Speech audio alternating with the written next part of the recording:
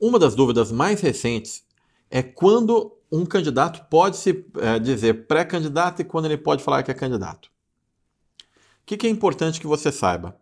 A partir do momento que você fala que é pré-candidato, que alguém fala que é pré-candidato, ele está sujeito a uma fiscalização muito maior do que se ele tivesse ficado quieto. Esse negócio de ser pré-candidato é uma coisa nova, começou em 2018. Em 2016 não havia. Se eu quiser hoje falar que sou pré-candidato a presidente da República de 2026, eu posso? Posso.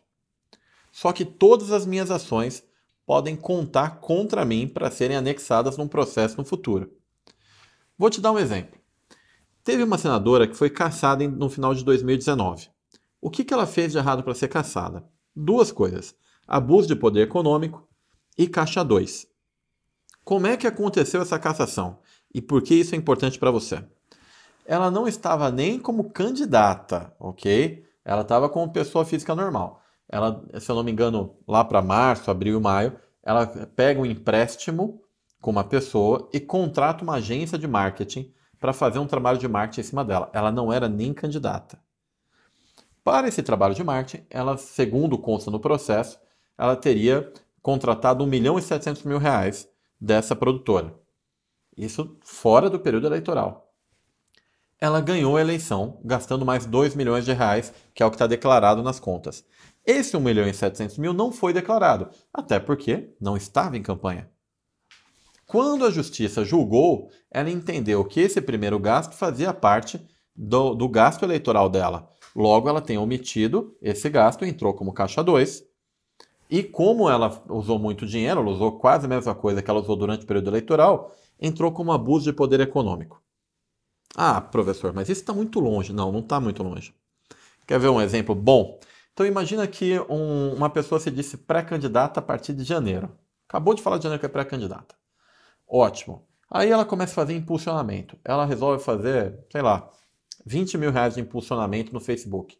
Todos os meses janeiro, fevereiro, março, abril, maio, junho, julho, sendo que a candidatura dela só passa a valer ali no meio de agosto, hein?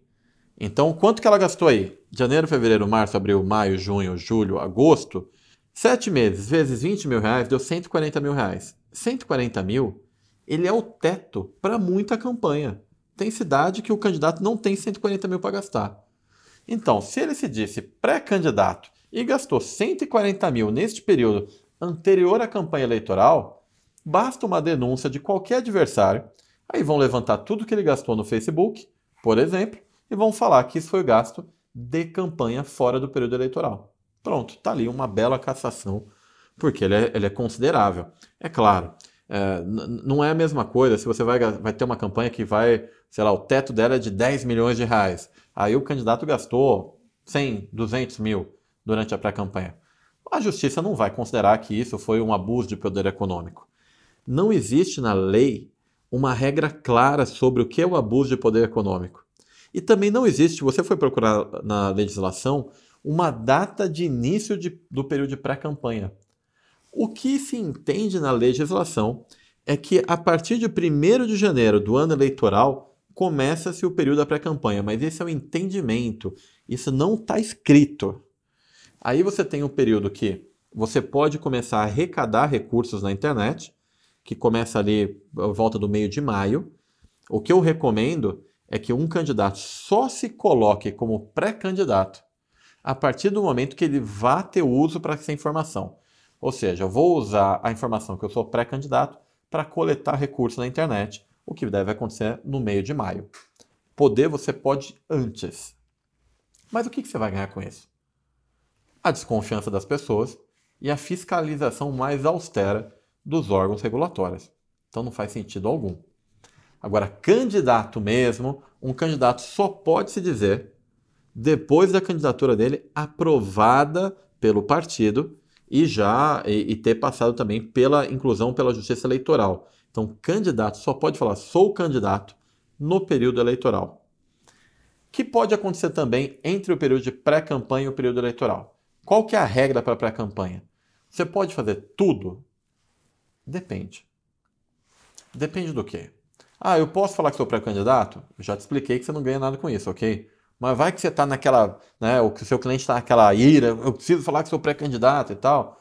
Se você não conseguir desmotivá-lo a fazer isso, o que, que eu recomendo é que você o oriente a não pedir voto de maneira alguma, mesmo que seja de forma velada, em lugar algum, nada.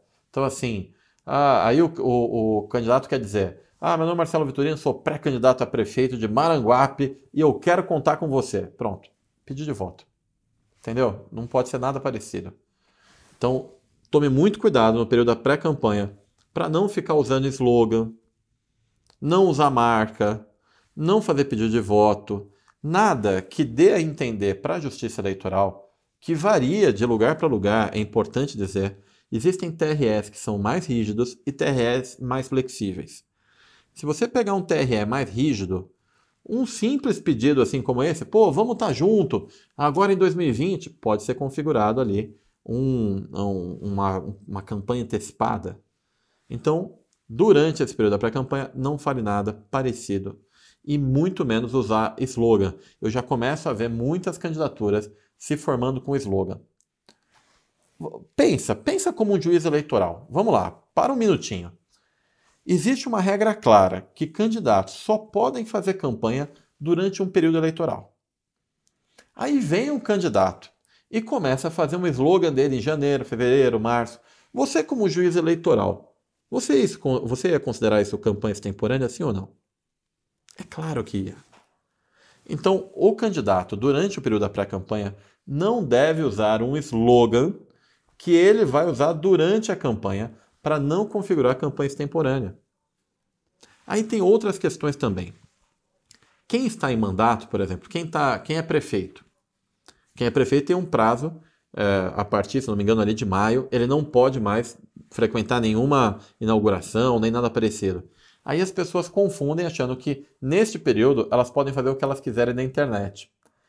Então, já tem TRS que consideram que você fazer uma live neste período que é vedado ao prefeito, pode ser considerado, considerado também um, um problema. Então você deve programar toda a tua comunicação, se você vai trabalhar em uma campanha de alguém que está em reeleição, para que ela, ela tenha o ápice dela em abril. Porque a partir de maio você já vai ter ali algumas limitações.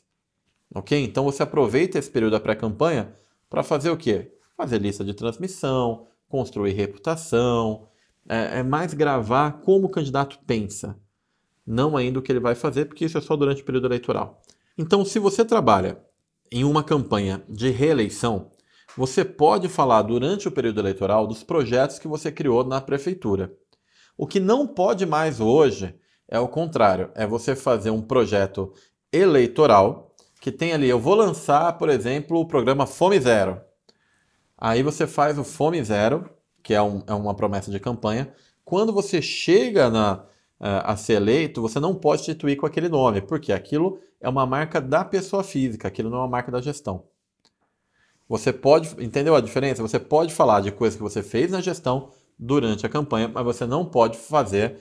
É, é, é muito curioso isso, mas você não pode fazer um projeto com o nome que você utilizou durante a campanha. Uma outra coisa que sempre me perguntam é se pode usar número no nome das redes sociais?